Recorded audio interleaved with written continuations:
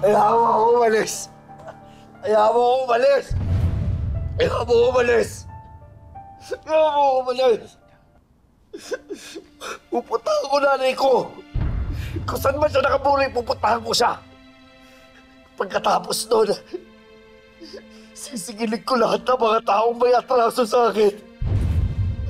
Lahat ng mga taong pumatay sa pamilya ko. Sa nanay ko! Makinig ka sa akin. Hindi lumayo ng tamang panahon. Magpalakas ka muna. Kaya ko! Kaya ko! Kasi kinaya kong mag-isa. Kinaya ko na wala akong ama!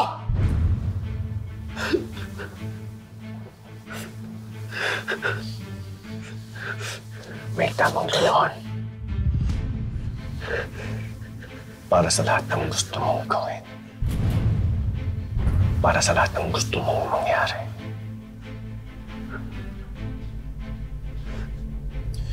Kung susugod ka ngayon,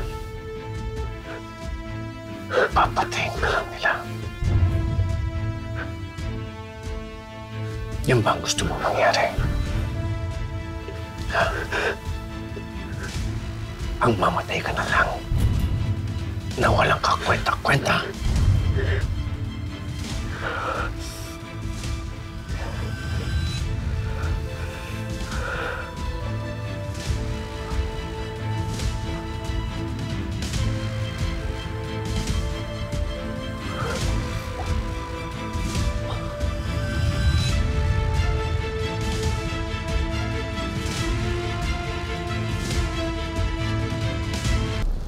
Ano? Ano ibig niyo sabihin? Sa tingin ko, hindi pa tapos ang dilubyo niyo. Baka balikan nila kayo. Nakahanap po kami ng safe house para sa inyong lahat. Bantay sarado. May mga gwardya. May CCTV. Pwede pong doon muna kayong lahat tumira hanggat magulo at delikado po ang sitwasyon. Doon po siguradong ligtas kayo. Wala po nakakaalam ng lugar na yon kundi ako at si Onat. Ibig niyo sabihin, ikukulong kami ulit. Bawal lumabas na walang paalam. Bantay sarado, ganun ba? Ganun nga po. Sa ngayon. Sana maintindihan niyo po. Ayoko, Chief. Hindi ako papayag na magpakulong ulit. Para po sa kaligtasan yung lahat yan, Nay Alma. Malaking taong tumira sa inyo. Inalayo na namin kayo sa kapahamakan dahil nasa posisyon sila. Kaligtasan? Kaligtasan na sinasabi mo? Iyan din ang sinabi sa amin noon nung pinatara kami doon sa lumang bahay ni Mayor. Pero ano nangyari? Halos, halos lahat kami muntik nang mamatay. Asa ng anak ko, hindi niya pa nakikita si Bane. Nasa si Bane? Pagkatapos gusto niya kami magtiwala niya sa sinasabi niyong kaligtasan. Magtiwala lang po kayo, Nay Alma. Hindi, hindi ko kaya. Pasensya na po. Pasensya na, On, at pasensya na, Chief. Pero, pero hahanapin ko ang anak ko. Sana maintindihan niyo. Hindi niyo na po ako mapipigilan.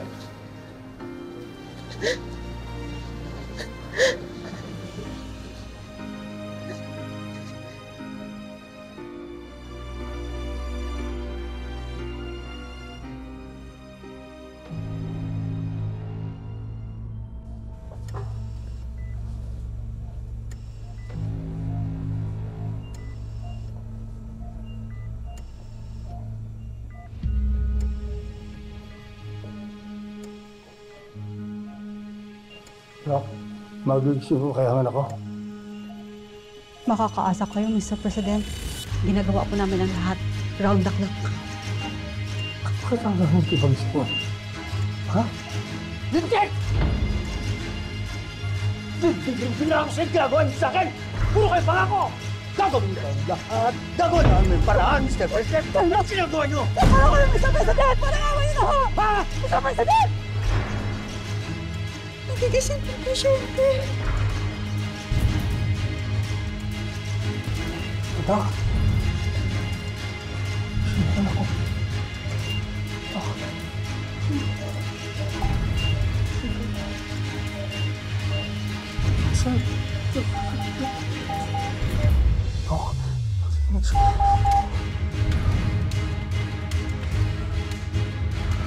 Naalala mo ba kung ano nangyari sa'yo?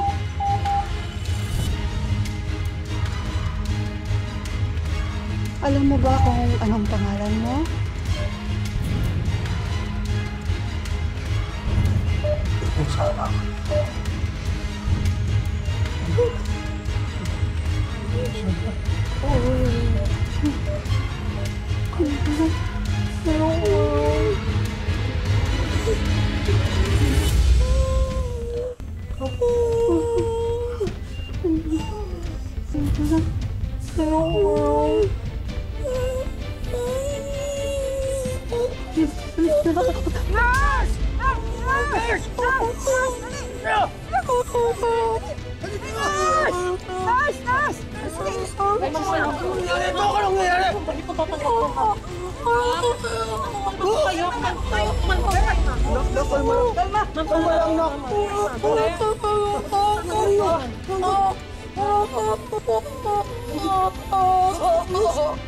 Diazepam 5 milligram.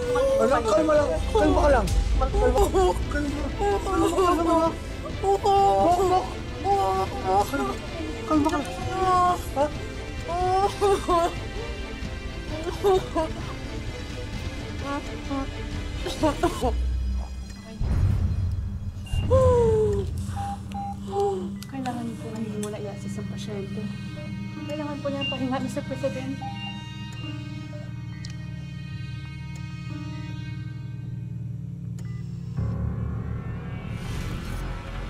Sinloko kayo. Vanessa, kami ang mga magulang mo.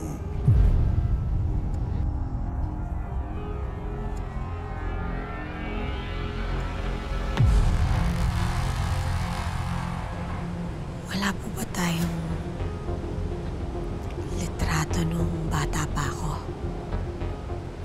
Yung magkakasama po tayo?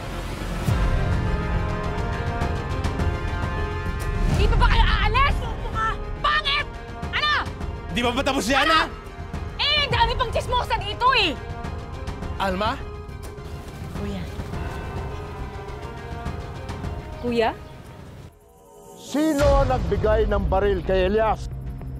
Boss, bigla nang agaw eh.